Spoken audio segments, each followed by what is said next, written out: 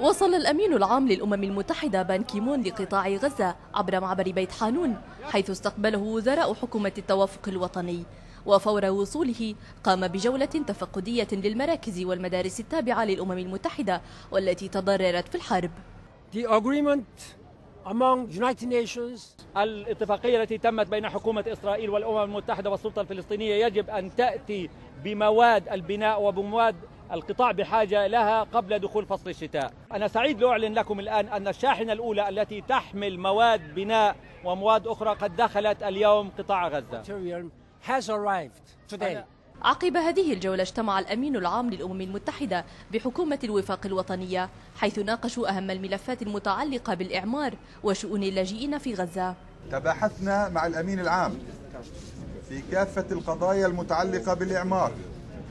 وعمل المعابر وإدخال المواد اللازمة بالسرعة المطلوبة. كما تباحثنا في الأوضاع الاقتصادية الصعبة في القطاع. عشرات الغزيين اعتصموا أمام مقر الأمم المتحدة في غزة احتجاجا على هذه الزيارة والتي يرون أنها جاءت متأخرة بعد 51 يوما من الحرب والمعاناة والتشرد وأن الأمم المتحدة لم تؤدي واجبها في العثور على المفقودين في قوارب الهجرة. جايين نناشد بنكمون ونناشد العالم حقوق الإنسان. العالم يشوفنا يدور على أولادنا. أولادنا طلعوا في سفينة والسفينة مخطوفة. منهم أطفال منهم نساء منهم شباب. نعلمش أي حاجة عنهم هاي الشهر الثاني. ولا أي جهة مسؤولة علمتنا وين أولادنا.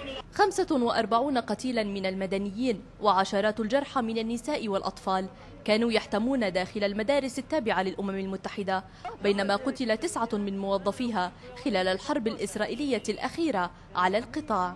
زيارة مهمة. كون الأمم المتحدة شريكا مهما في إعادة الإعمار وستضمن سير العملية على أكمل وجه.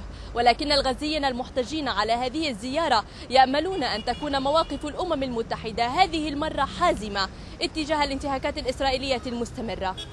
من غزة مها أبو الكاس فرانس فانكات